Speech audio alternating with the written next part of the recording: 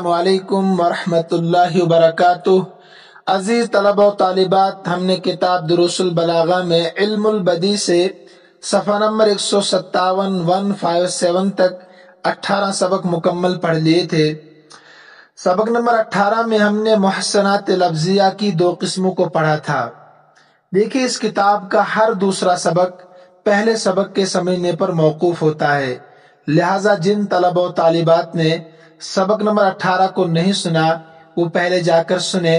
असबाक आपके YouTube channel पर मौजूद रहते हैं, आप कभी भी कहीं भी इस्तेफादा कर सकते हैं।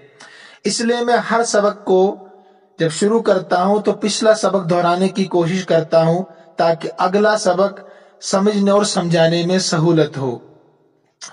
तो हम आज सबक नंबर 19 मोहसनात लफ्जिया की तीसरी किस्म को शुरू करने जा रहे हैं। सफ़र नंबर सत्तावन के आखिर में आप देखिए।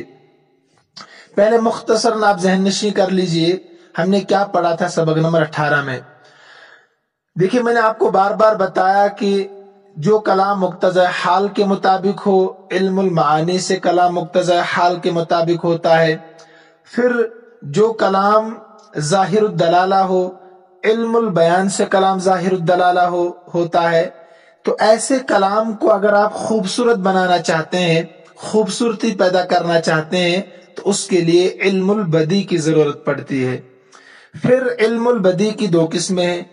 अगर आप मानवी तौर पर कलाम को खूबसूरत बनाना चाहते हैं ने कलाम के माना को खूबसूरत बनाना चाहते हैं तो उसका नाम मुहसनात मानवीया है।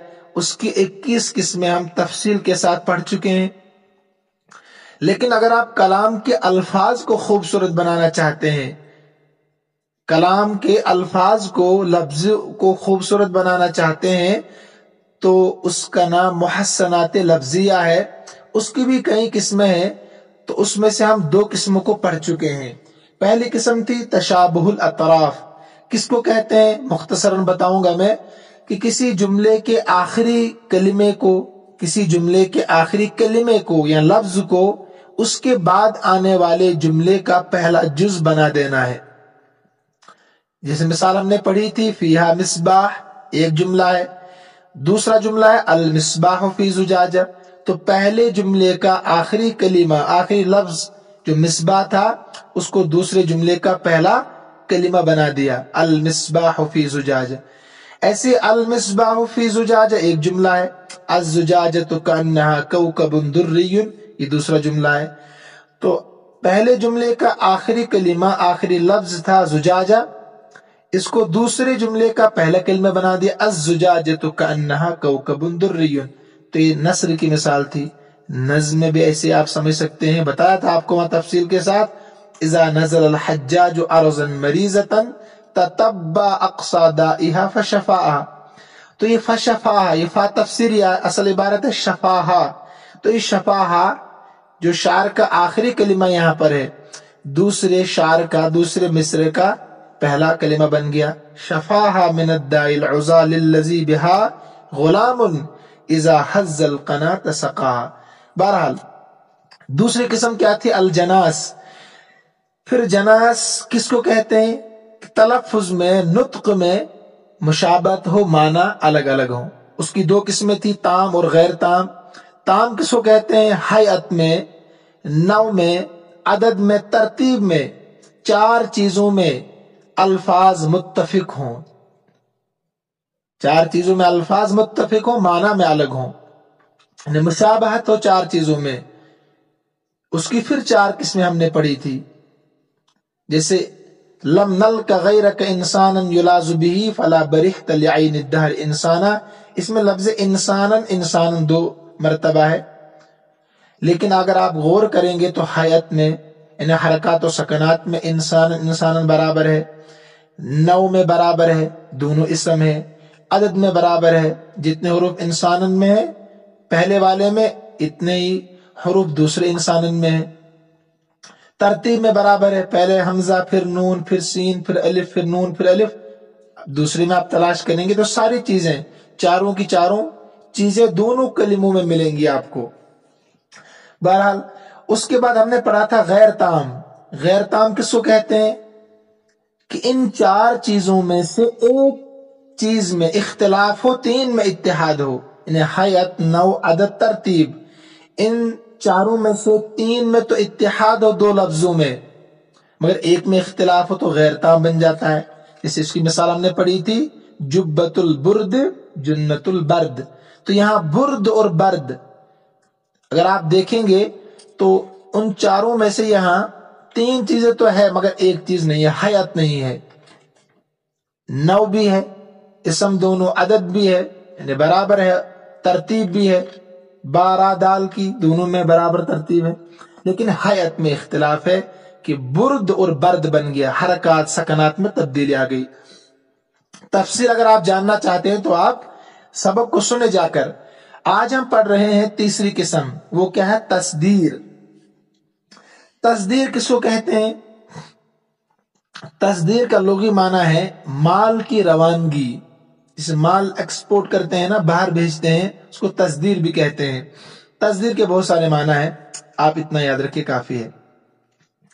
वयुसम्मा रद्दुल अज्ज अल सद्र।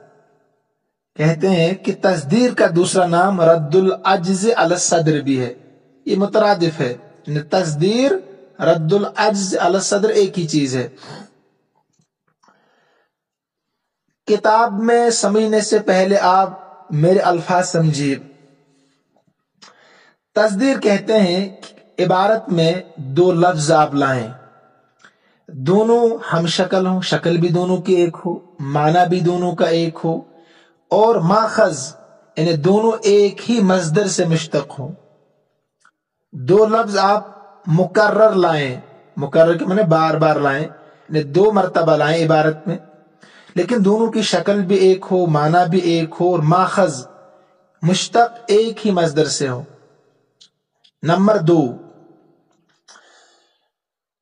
दो कलिमे आप इबारत में लाए, दोनों हम जिन्स हो। हम जिन्स का मतलब? दोनों की शक्ल एक हो और दोनों इसम हो या दोनों फेल हो या दोनों हर्फ हो। यहाँ दोनों इसम है जो मिसाल यहाँ दी है। तो दोनों हम जिन्स हो, शक्ल भी एक हो और जिन्स भी एक हो, यानी फेल हो या इसम हो या हर्फ हो। कितनी किस्म हो गई? दो। दोनों अल्फाज मुकर्र हो। बता दिया आपको मैंने, यहाँ दो कलमे हो, लेकिन दोनों हम जिन्स हो। कापी में नोट कर ले इनको आप. नंबर तीन. ऐसे दो लफ्ज आप लाएँ जो हम जिन्स के साथ मुलहक हो. अल मुलहकैन बिहिमा. दो कलिमे आप लाएँ, लेकिन वो दोनों कलिमे हम जिन्स के साथ मुलहक हो. अब आप मिसाल से बखूबी समझेंगे, यहाँ क्या कहना चाहते हैं? इबारत देखिए, आप हुआ फिर नसर, तस्दीर नसर में भी होता है और नज्म में भी होता है याद रखने की चीज़ है। नसर आप जानते हैं, और नज्म भी आप जानते हैं, कई मरतबा बता चुका हूँ। युज अहदुल अल मुकर्ररैन अविल मुतजानिसैन अविल मुलहकैन बिहिमा। युज अला लाया जाए, तर्जमा देखिए, हुआ फिर नसर तस्दीर नसर में यह है कि युज अला लाया जाए अहदुल लफ्जैन। दो लफ्जों में से एक लफ्ज को, अल मुकर्ररीन, जो मुकर्र हो। मगर मैंने बता दिया आपको जो मुकर्र होगा, शक्ल भी एक हो, माना भी एक हो, और माखज, यानी मुश्तक मिन हो मजदर भी उनका एक हो। एक किस्म तो यह है। लाया जाए दो लफ्जों में से एक को अल मुकर्ररीन जो मुकर्र हो इबारत में। अविल मुतजानसईन या हम जिन्स हो। शक्ल एक हो, और जिन्स भी एक हो, दोनों इसम हो, या दोनों फेल हो, या दोनों हर्फ हो, ये मतलब है मुतजान सही अविल मुलहकैन बिहिमा, या दो लफ्ज ऐसे हों, जो हम जिन्स के साथ मिले हुए हों। मुलहक के माने मिले हुए हों। तो चार किस्में गोया की हो गई। कितने किस्में? चार किस्में। मिसाल यहाँ चारों की दी है, वहाँ से आप बखूबी समझेंगे। बेअन इस तौर पर कि जम अहुमा इश्तिकाकुन। उन दोनों को जमा किया इश्तिकाक ने। दोनों का मजदर एक हो। दोनों का मजदर एक हो। अव शिबहू या शिब इश्तिकाक ने उनको जमा किया हो। इन्हें लगता ये हो कलमे को देखकर कि दोनों का मजदर एक होगा। इसका नाम है शिब इश्तिकाक, मगर दोनों का मजदर एक नहीं होगा। अविल मुलहकैनी बिहिमा की तशरी कर रहे हैं जो ब्रैकेट में है, बेअन इस तौर पर कि जमा उन दोनों कलिमों को जमा किया इश्तिकाक ने, इन दोनों का मजदर एक हो। अव शिब हो या शिब इश्तिकाक ने जमा किया हो। बजाहिर लगता हो, मगर हो ना। आप तरतीब के साथ आप चारों की मिसाल समझिए। कहते हैं, फ़ी अव्वल फिक्रा एक कलिमा ये फकरा गलत लिखा है, फिक्रा होना चाहिए। फ़ी अव्वल फिक्रती, पहला कलिमा फ़िक्र जुमले के शुरू में हो वसानी फ़ी आखिर और दूसरा कलिमा जुमले के आखिर में हो। जो कलिमे मुकर आप लाएँगे, हम जिन्स लाएँगे, या जो हम जिन्स के साथ मिले हुए हों, ये चार कलिमे जो आप लाएँगे ना, एक तो जुमले के शुरू में होना चाहिए, एक जुमले के आखिर में होगा। नहु जैसे अल्लाह ताला का फरमान है व तख्शा वल्लाहक तख्शा। आप सल्लम से खिताब है कि आप लोगों से डरते हैं। वल्लाह, और अल्लाह ताला अहक को ज़्यादा हक रखता है अन तख्शाओ कि आप अल्लाह से डरें। लोगों की लान तान के इंसान को फ़िक्र नहीं करनी चाहिए, अल्लाह से डरना चाहिए। इसमें जो महल इस्तिशाद है, जो आप हमें समझना है, तस्दीर को समझना है ना तो वो ये है, देखिए, तख्शा शुरू में जो है और तख्शा आखिर में जो है, ये महल इस्तिशाद है। दोनों लफ्ज ये मुकर्र है। दो लफ्ज और मुकर्र एक शुरू में आखिर में है। नंबर दो, दोनों का माना एक है, डरना। नंबर तीन, दोनों का मुश्तक एक है, मजदर, खश यक्षा अलखश डरना। तो ये पहली मिसाल है कि जब जुमले में एक कलिमा मुकर्र हो इन्हें डबल, दो मरतबा ज़िक्र किया गया हो, लेकिन माना एक हो, माखज एक हो मजदर एक हो दोनों का, इसका नाम तस्दीर है। उसके बाद उन्होंने क्या कहा था? अविल मुतजान सईद या हम जिन्स कलमे हो, एक शुरू में हो, एक आखिर में हो, शक्ल भी एक हो, मगर माना अलग अलग हो। देखिए, साइल व कौल का तेरा कौल साइल लईम यरज व दम साइल कमीना लईम के माने कमीना साइल के माने बहने वाली चीज़ दम के माने खून यरजो के माने लूटना जानते हैं और पहला साइल से मुराद है बहने सवाल करने वाला इसमें दो साइल है ना पहला साइल सवाल से है सवाल करना दरियाफ्त करना मांगना और दूसरा साइल सैलान से इसके माने बहने वाली चीज़ तो साइलम कमीन इंसान से सवाल करने वाला यर जो वो लौटता है वापस। वह दम उहू उसके आँसू साइल बहते रहते हैं, या बहने वाले होते हैं। इसमें फ़ाइल है। इसमें महल इस्तिशाद क्या है? समझना क्या है? हमें पहला साइल आखिरी साइल देखिए, दोनों हम जिन से है। मतलब दोनों इस समय यहाँ पर, दोनों की शक्ल एक है। और एक कलमे के शुरू में है, एक एक जुमले के शुरू में है, एक जुमले के आखिर में है। इसी का नाम तस्दीर है, मगर दोनों का माना अलग अलग है। दोनों का माना अलग अलग है। कैसे अलग अलग है? खुद बता रहे हैं। अल अव्वल मिन सवाल। पहला साइल इसका मुश्तक है सवाल। इसके माने दरियाफ्त करना इससे निकला हुआ है। वसानी मिन सैलान। दूसरा जो साइल है, ये मुश्तक है सैलान से। इसके माने बहने वाली चीज़। समझ रहे हैं कि नहीं आप? इसका नाम है हम जिन्स होना। नंबर तीन, इन्होंने कहा था, अविल मुलहकई बीमा।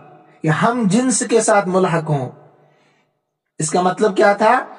कि दोनों का मजदर एक हो, या मजदर एक ना हो, मगर लगता हो कि एक मजदर है। हकीकत में ना हो। शिब इश्तिका कहते हैं उसको। इबारत देखिए, इस्तगफिरू रब्बकुम। तुम इस्तिगफार करो, माफ़ी तलब करो अपने गुनाहों की, अपने रब से। इन कान गफ्फारा बेशक वो बख्शने वाला है बहुत ज़्यादा। इस्तगफिरू अमर का सीगा आप जानते हैं, इस्तिगफार करना, गुनाहों की माफ़ी तलब करना।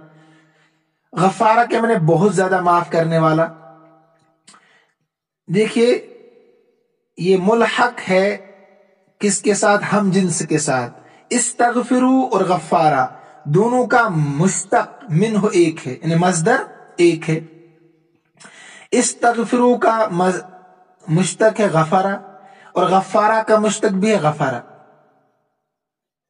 इसी का नाम है मुलहक हो हम जिन्स के साथ। एक शुरू में और आखिर में है, लेकिन दोनों मिले हुए हैं, निकले हुए गफारा से। तो इनको इश्तिकाक ने जमा किया है मुश्तक मिनो एक जगह से है, दोनों एक जगह से निकले हुए गफारा और इस्तगफारा। शिब इश्तिका किसको कहते हैं? काला इन्नी अमलिकुम मिनल कालीन। हज़रत लूत सलाम ने फरमाया कि मैं तुम्हारे काम से सख्त नफरत करता हूँ। काला से मुराद कहना अलकौल से निकला है और आखिर में जो कालीन है, ये कल यकला किलन, इसके माना सख्त नफरत करना, बुग्ज रखना, अदावत रखना, कालीन। तो महल इस्तिशाद इसमें है, काला पहला वाला और आखिरी कालीन है। एक जुमले के शुरू में, आखिर में लगता ऐसा है कि काला और कालीन, ये इनका मुश्तक मिनो एक होना चाहिए। अल्फाज बता रहे हैं कि एक होना चाहिए। इसका नाम है शुभ इश्तिकाक, मगर एक नहीं है। पहले काला कमाना कहना, और दूसरे कालीन कमाना है बेजारी इख्तियार करना, नफरत करना, बुग्ज इख्तियार करना। तो इसका नाम है शुभ इश्तिकाक। यानी जब कोई पढ़ेगा तो उसको लगेगा, जिसको तर्जमा नहीं आता है माना पता नहीं है, वो समझेगा शायद काला और कालीना, इनका मुश्तक मिन एक होगा, मजदर एक होगा। और जब गौर कर रहे हैं आप तो पता चलता है कि काला अलकौल से निकला है और अलकालीन तिलन से निकला है, और दोनों का माना भी अलग अलग। इसी का नाम है अविल मुलहकीन बिहिमा, या हम जिन्स के साथ मुलहक हो। इस तौर पर कि या तो मुश्तक मिन ने उनको जमा किया हो, या शिब मुश्तक मिन ने शिब इश्तकाक ने। तो तस्दीर की जो चार किस्में बताई थी इन चार तरीके से तस्दीर होगी। या तो लफ्ज मुकर्र है इबारत में, या हम जिन्स कलमे है, या मुलहक है हम जिन्स के साथ। तो पूरी बात यहाँ पर हो गई। ये मिसाल थी नस्ल की। अब नज्म में आप आइए, वो फिर नज्म, और नज्म में क्या है? अयकून अहदुमा फ़ी आखिर वल आखिर फ़ी सदर मिसराई। ये बिल्कुल आसान है उसके मुकाबले में। इन्होंने कहा कि दो कलमे हों। इन्हें मजकूरा बाला चारों तरह के जो दो लफ्ज होंगे ना, चार तरह से बताए कि कलमे मुकर्र हों। जैसे तख्शा तख्शा एक किस्म थी। नंबर दो, हम जिन्स हो। नंबर तीन, कि मुश्तक मिन, दोनों कलिमों का एक हो, जैसे गफरा इस्तगफरा। और नंबर तीन, कि लगता हो कि मुश्तक मिन एक हो, मगर हो ना। जब गौर करेंगे तो फिर ना हो। अल्फाज बता रहे हो, शक्ल बता रहे हो कि एक हो, मगर एक ना हो फिर। तो उन्हीं चारों तरह के अल्फाजों में से कोई लफ्ज शार के शुरू में हो और दूसरा शार के आखिर में हो। यानी एक कलमा, आखिरुल बैद शार के आखिर में हो और एक कलमा पहले शार के शुरू में हो पहले मिसरे के शुरू में हो। या एक कलिमा पहल शार के आखिर में हो एक कलिमा शार के आखिर में हो और एक कलिमा पहले शार के थोड़ी देर बाद हो। दो तीन कलमों के बाद बिल्कुल शुरू में ना हो। फिर समझे इसको। दो तारीफ़ इन्होंने की कि नज, नज्म में क्या होगा?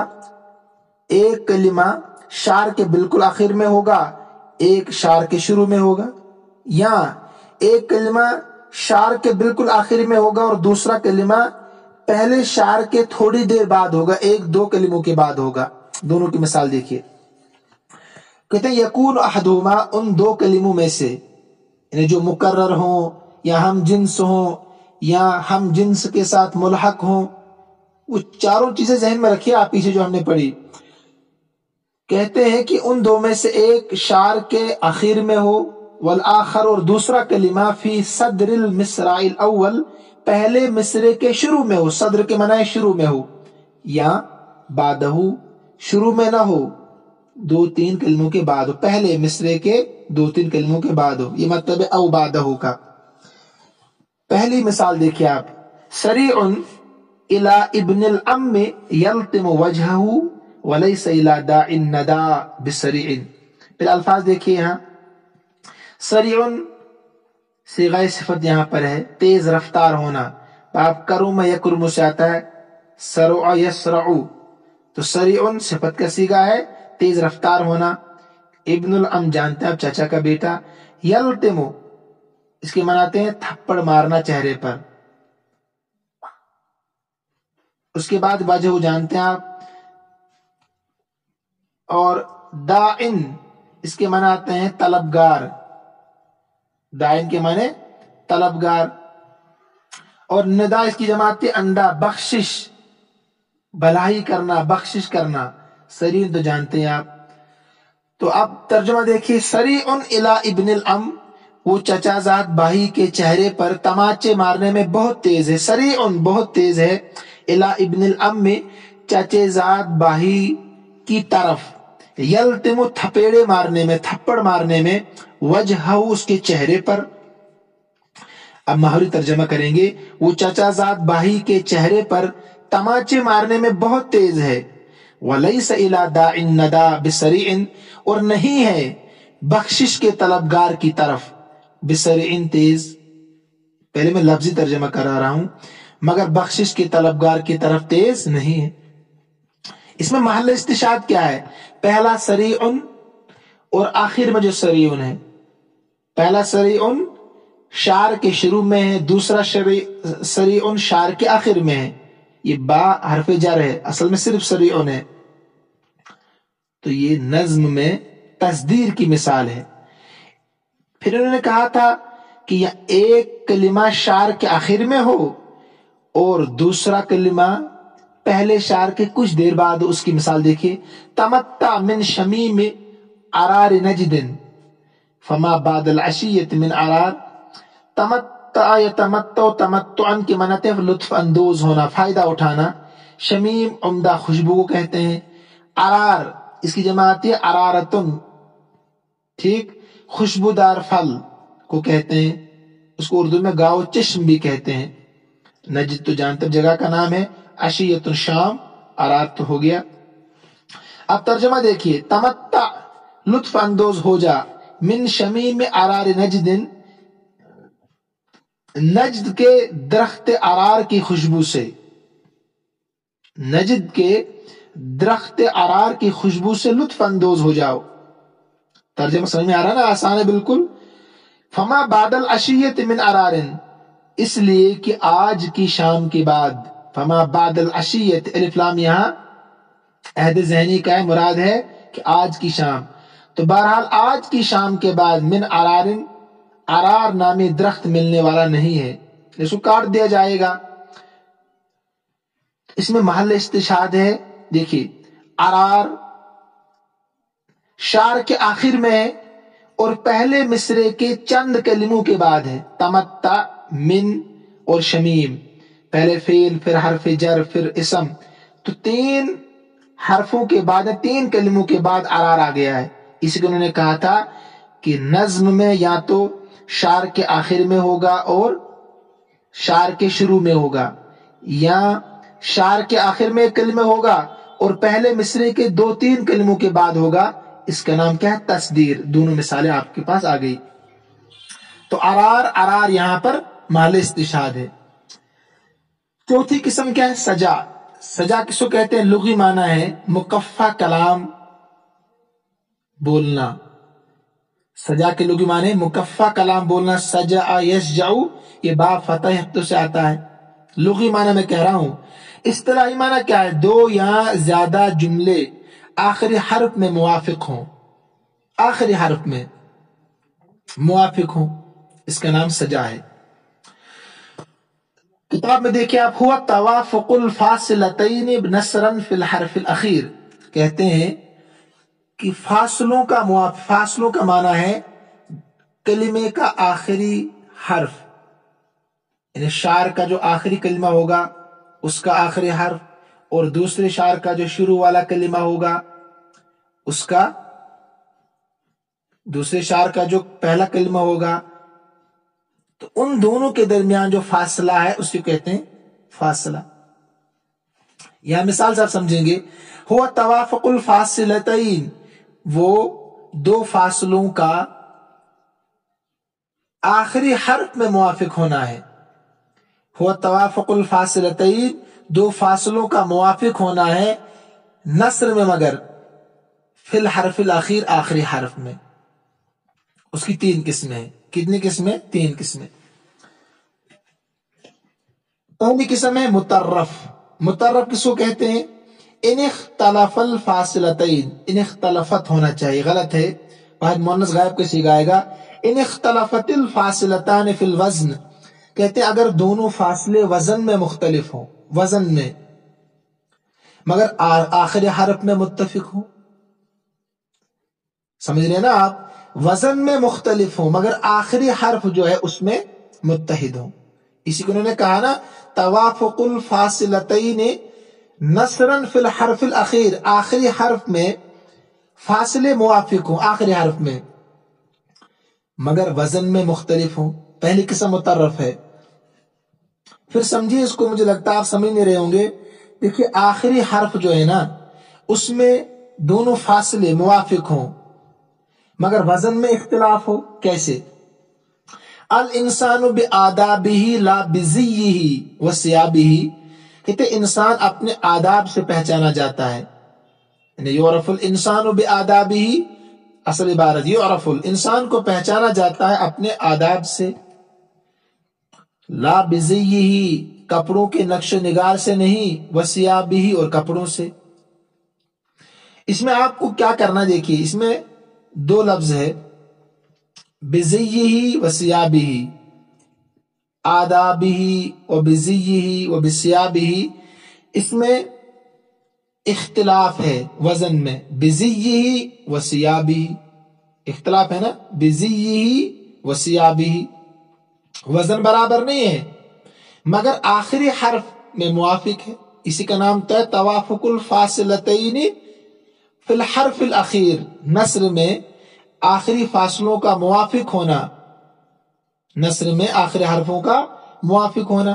तो देखिए सियाबी ही बिज़ी ही तो ही ही इसमें मुआफिक है। मगर वज़न में मुआफिक नहीं है। वज़न में इख्तिलाफ है, इसका नाम मुतर्रफ है। दूसरी किस्म है इसकी, तीन किस्में है सजा की। मुतवाजिन।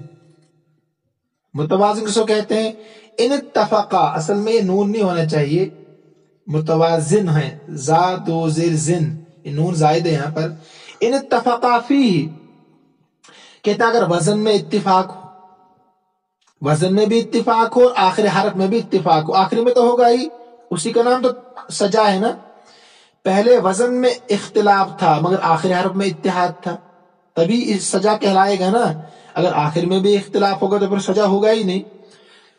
तो दूसरी किस्म यह है कि वज़न में भी इत्तिफाक और आखिरी हरफ में भी इत्तिफाक तो लाजमी है। जैसे अलमर इल्म ही व अदब ही इंसान अपने इल्म और अदब से पहचाना जाता है। यूरफुल मर यहाँ भी आप पोशीदा निकाल सकते हैं। पहचाना जाता है अपने इल्म से और अदब से, ला बेहसब ही व नसबी न क्या अपने हसब और नसब से। इसमें महल इस्तिशाद हसबी ही व नसबी आप गौर करेंगे तो वज़न भी बिल्कुल बराबर है। हसबी नसबी हयात में आप देखिए, तरतीब में आप देखिए, तमाम चीज़ें इसमें मौजूद है। और आखिर में ही ही में तो मुआफिक है ही, तभी तो सजा कहलाएगा। इसका नाम है मुतवाजन, दो किस्में। तीसरी किस्म है मुरस्साउन। किसको कहते हैं? इन तफकत अल्फाजुल फितरतैन औ अक्सरुहा फिल वज़न व तफकिया व तकफिया। कहते हैं कि अगर दो फिक्रों के, दो जुमलों के सारे अल्फाज मुत्तफिक हों, वज़न में भी और आखिरी हर्फ में भी। सारे दो फिक्रों के तमाम अल्फाज मुत्तफिक हो। इन तफकत अल्फाजुल फिक्रत दोनों जुमलों के अल्फाज, सारे अल्फाज मुत्तफिक हों। या सारे तो ना हो, मगर अक्सर हों, औ अक्सर हुआ। वज़न में और काफिया बंदी में काफिया बंदी का मतलब है कि आखिरी हरफ में, इसको याद रखिए, काफिया कहते हैं आखिरी हरफ में इत्तेहाद का होना। मिसाल देखिए, यतबउल अस्जा बिजवाहिर लफ्जिही व यकराउल अस्मा बिजवाजिर वाजिही। पहले अल्फाज देखिए इसमें, असजा किसको कहते हैं? सजउन, इसकी वाहिद है मुकफ़ा कलाम को कहते हैं। मुकफ़ा कलाम। तो मुकफ़ा बता दिया मैंने अभी आपको। जवाहिर किसको कहते हैं? जवाहिरात को आप जानते हैं, जवाहरतन उसकी वाहिद है। किसी चीज़ की असल को भी कहते हैं जवाहिर। किसी चीज़ की असल, मग्ज।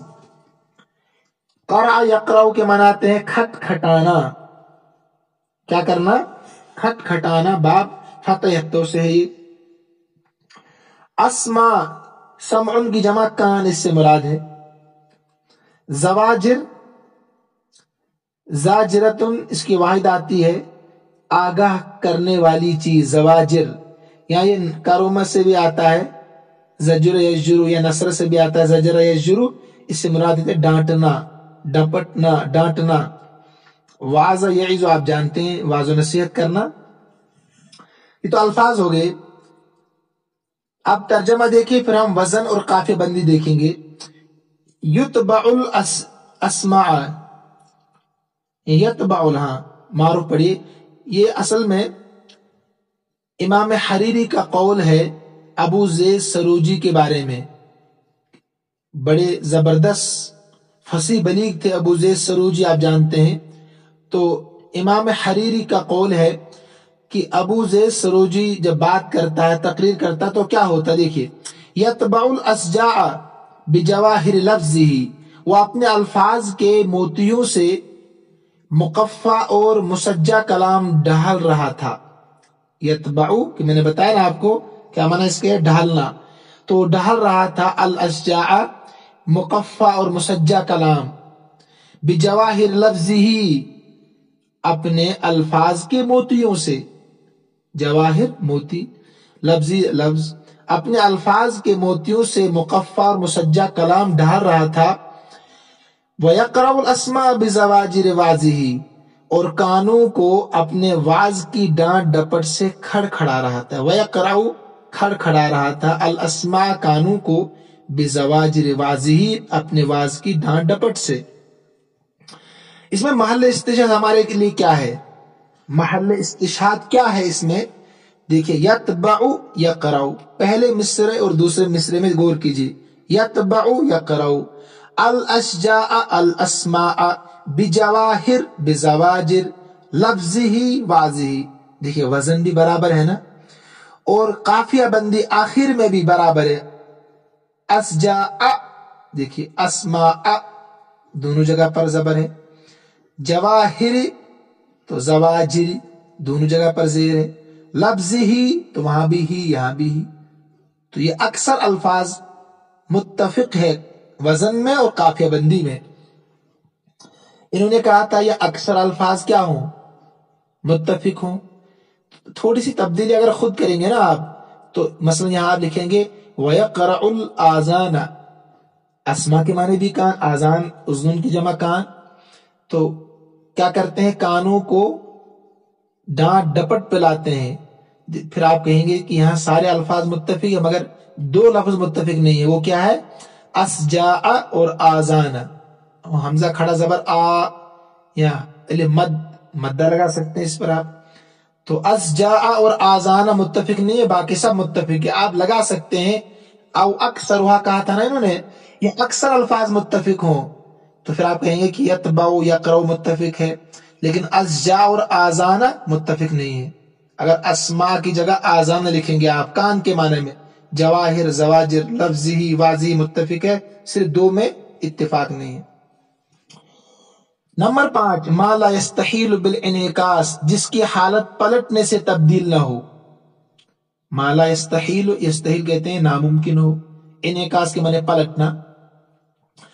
तो पाँच किस्म है, कलाम के अल्फाज को खूबसूरत बनाने की, माला यस्तहील बिल इनकास।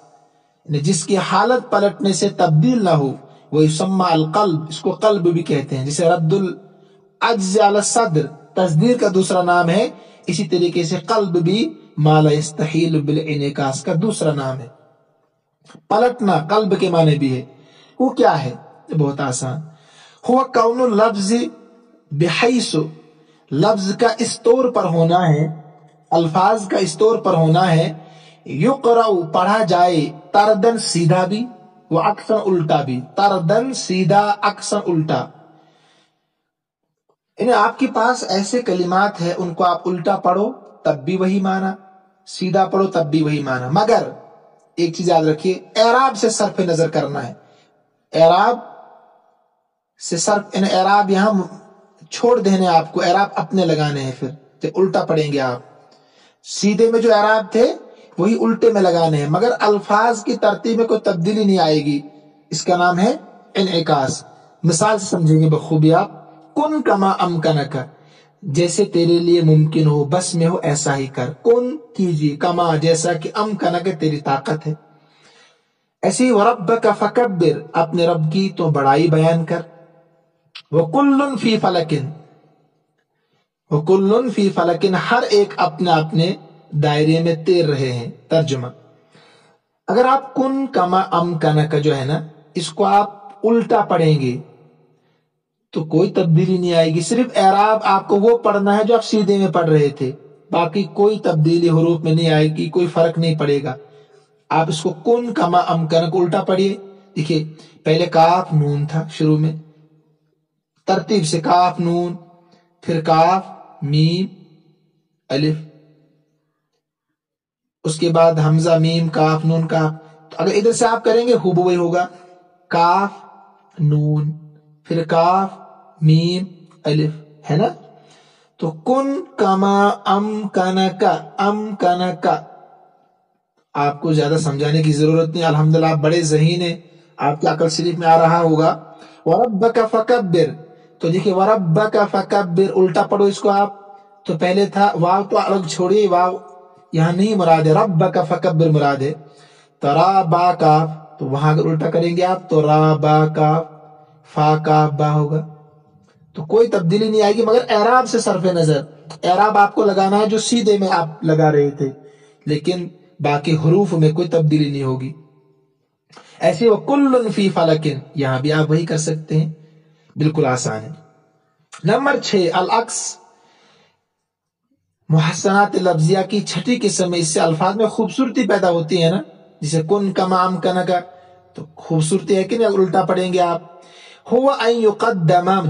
फिल कलाम अला आखर इसको कहते हैं? कलाम के एक जुज को दूसरे जुज पर मुकदम किया जाए, फिर उसको उलट दिया जाए। सुमयुकसु उलट दिया जाए। युकदम कि मुकदम किया जाए। जुज फिल कलाम कलाम के एक जुज को अला आखर दूसरे जुज पर सुमयुकस पर उलट दिया जाए। मसला आपको कोई जुमला बनाना है, कोई सेंटेंस बनाना है तो क्या करेंगे आप? आपने पढ़ा होगा वहाँ दवाई हज दवाई ज़िक्र। क्यों मुकदम किया जाता है? क्यों मुखर किया जाता है एक कलमे को दूसरे पर? तो आपने एक कलमे को शुरू में लाया, एक को आखिर में लाया। तभी तो जुमला बनेगा ना, लाना पड़ेगा आपको, दवाई हज दवाई ज़िक्र आपने पढ़े हैं ना। तो कहते हैं कि फिर अगर आप उनको उलट दें, फिर आप उनको उलट दें, तब भी माना में कोई फ़र्क ना पड़े, इन्हें माना दुरुस्त रहे। सुमयोकसु माना दुरुस्त रहे। आज पूरा ही पढ़ लेते हैं, थोड़ा तवील होगा, मगर पूरा पढ़ लेते हैं। नहु कौल के जैसे तेरा कौल कौल इमाम इमामुल कौल। कौल इमाम इमामुल कौल कौल इमाम आपने पहले कौल लाया फिर इमाम लाया। कौल इमाम का तर्जमा इमाम का कौल। इमामुल कौल कौलों का सरदार होता है। होगा कि नहीं? तो पहले आपने कौल लाया फिर इमाम लाया। फिर इसी को पलट दिया। पहले आप इमाम लाए फिर कौल लाए। हर्रुल कलाम कलामुल हुर कला, हर्रुल कलाम कलामुल हुर तो यहाँ भी आपने फिर उल्टा कर दिया। पहले आप हुर लाए, फिर कलाम लाए। तो अब फिर कलाम को पहले लाए, हुर को बाद लाए, बाद में लाए। इसी का नाम है क्या? अल अक्स आप ऐसा कीजिएगा, आप दो तीन दिन उसको सुनिए, मैं पूरा पढ़ा देता हूँ, वरना ये फिर ये दो तीन जुमले रहेंगे। नंबर सात है अतशरी हो बिना उलबैत अला काफियतन। चलो रहने दीजिए, इंशाल्लाह कल पढ़ेंगे इसको। आप भी उगता जाएँगे, चालीस मिनट हो गए हैं। अल्लाह तबारक वाली हम सब का हामी नासिर हो इनशाला बहुत जल्द इसको पूरा करेंगे, बस तीन सबक इसके बाकी है। चालीस चालीस मिनट के तीन सबक बाकी है। आपसे एक मुद्दबाना दरखास्त है, मामूल के मुताबिक रोज़ाना में करता हूँ, खुद सुनने के बाद ये इसबाक दूसरों तक आप पहुँचाए, सदक़ जारी की नीयत से, ताकि मुझे पढ़ाने के और आपको फैलाने का सवाब मिले। और ख़ुद भी चैनल को सब्सक्राइब ज़रूर कीजिएगा ताकि तमाम इसबाक की और फ़िकी मसाइल की नोटिफिकेशन आप तक पहुँचती रहे। असलकम वरहमल वर्क